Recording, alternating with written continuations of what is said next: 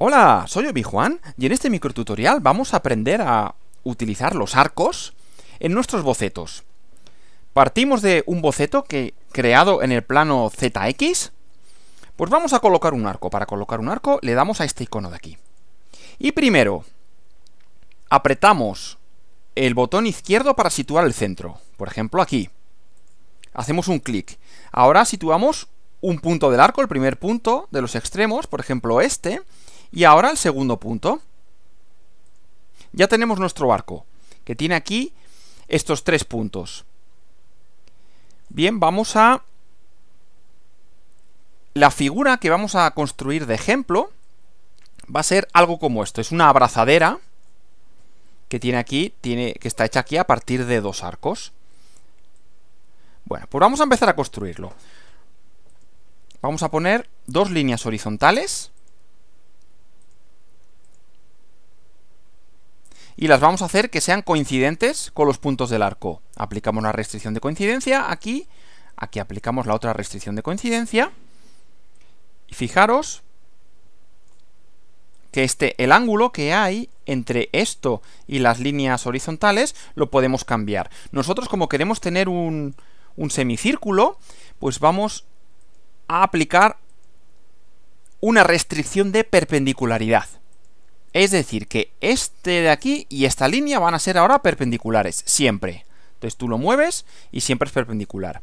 Y lo mismo con esta de aquí abajo. Aplicamos una restricción perpendicular, con lo cual ahora tenemos siempre un semicírculo genérico. Vamos a crear el arco interior. Pues lo mismo, le damos aquí al arco, situamos el centro, hacemos clic, primer punto, clic, segundo punto. Ya tenemos nuestro arco aquí creado, nuestro arco genérico. Vamos a hacerlo que sea coincidente con el, con el arco original, restricción de coincidencia. Y ahora, aquí vamos a dibujar dos líneas verticales. Una. Otra. Y las hacemos coincidentes con el arco, son los extremos del arco. Coincidente por aquí y coincidente por aquí. Ahora aquí queremos aplicar una restricción de tangencia. Queremos que esta línea sea tangente al arco. Para ello, seleccionamos el arco, seleccionamos la línea vertical y le damos a la restricción de tangencia, que es esta de aquí, este icono, donde hay un, arco y una línea. Entonces, ahora esta ya se nos queda siempre tangente. Ahora lo mismo con esto de aquí. Arco, línea, restricción de tangencia. Aquí está. Bueno, vamos a hacer además que esta línea y esta línea sean iguales, una restricción de igualdad. Aquí las tenemos. Y para terminar lo que sería la, forma, vamos a utilizar una polilínea. Hacemos aquí y aquí. Le damos al escape para terminar y aplicamos otra polilínea aquí en el otro lado. Por aquí, horizontal vertical, escape, para terminar. Y esta sería la forma básica que tiene nuestra abrazadera.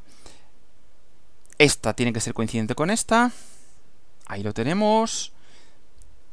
Y ahora hacemos que esta línea y esta que sean siempre iguales también. Una restricción de igualdad. Ahí está. Nos quedan todavía 6 grados de libertad. Vamos a ir fijando parámetros. Vamos a situarla la vamos así moviendo. Y vamos a hacer que este punto central sea coincidente con el origen. Aquí la situamos. Y ahora vamos a ir aplicando... Vamos a ir fijando parámetros. Queremos que la abrazadera sea... Todo esto sea el mismo grosor, tanto la base como el arco queremos que sea todo del mismo grosor. Entonces, para ello vamos a generar, vamos a crear aquí una línea auxiliar que empiece aquí y que acabe en este punto. La hacemos que sea auxiliar y ahora hacemos que esta distancia que me define el grosor de la base y esta que me define el grosor del arco que sean iguales. Le metemos una restricción de igualdad. Con lo cual ahora, fijaos ya, siempre el ancho es el mismo. Ay, perdonad, esta tiene que ser coincidente con esta. Ahí. Ahora, ahora sí. Ahora ya está el mismo ancho. Pues vamos a empezar a fijarlo. Vamos a fijar este ancho y vamos a hacer que sea, por ejemplo, pues de, la distancia que queráis. Por ejemplo, un ancho de, de 4 o de 5 milímetros. Vamos a ponerle 5. 5.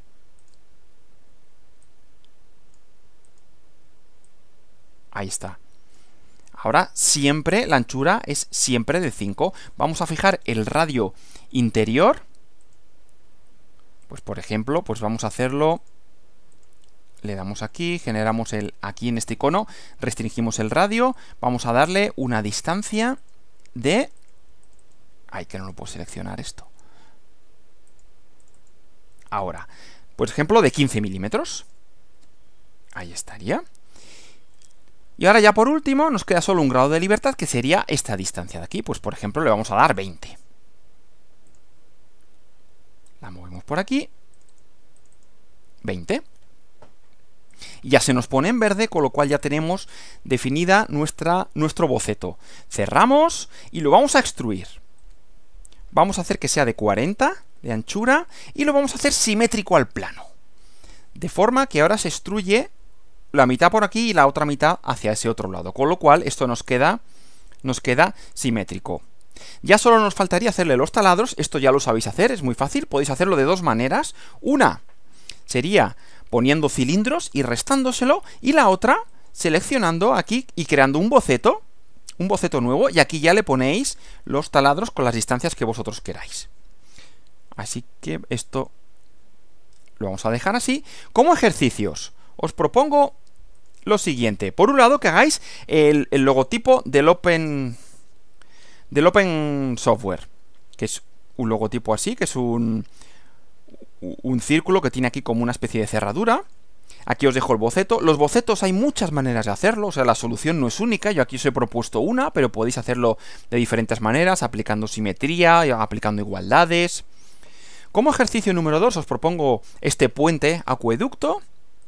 Lo mismo, este sería el boceto que he hecho yo, pero existen muchas soluciones distintas. Aquí, por ejemplo, he utilizado simetrías. Y por último, este gancho de Ikea, que este yo, yo lo utilizo muchísimo y lo tengo diseñado en OpenSCAD de hace mucho tiempo, pero ahora está diseñado en FreeCAD. Y este es el boceto que le he dado. Aquí también utilizo una línea auxiliar para definir lo que sería la anchura de todo el gancho y lo podemos cambiar fácilmente y estas serían las dimensiones. Esto es todo desde Obi Academy, que el software libre os acompañe.